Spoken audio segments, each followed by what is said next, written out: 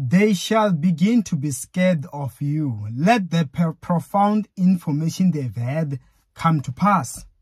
Let me tell you, there are things that the Lord uses to mark you with. And as a result, they no longer come near you. As a result, they begin to respect you. As a result, they stop coming next to you. Some, of course, they will act like they are courageous.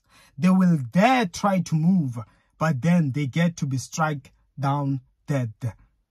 They will suffer the consequences of crossing you where God has blessed you and marked you. In the mighty name of Jesus Christ, I pray. May the Lord God Almighty back up everything.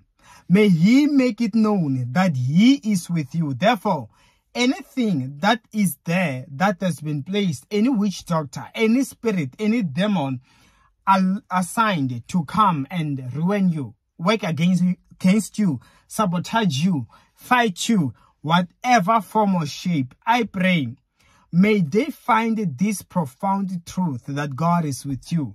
May God defend you. May God rescue you like he came through for Elijah when he called fire from heaven.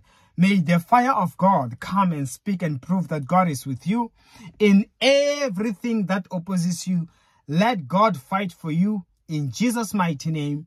Amen. And of course, you can also book an appointment with me. My details on the comment section below. See you next time.